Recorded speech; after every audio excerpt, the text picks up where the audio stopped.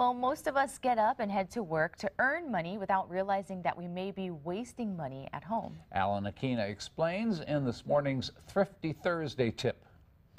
Good morning, everyone. Can you see this? It's called an energy vampire. Yeah, I know it's only a plug, but if you leave it plugged into the socket when it's not in use, it will continue to drain electricity.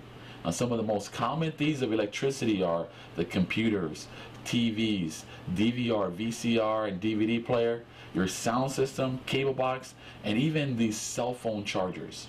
A recent study by UC Berkeley estimates that the average household can save anywhere from 6 to 26% off their total bill.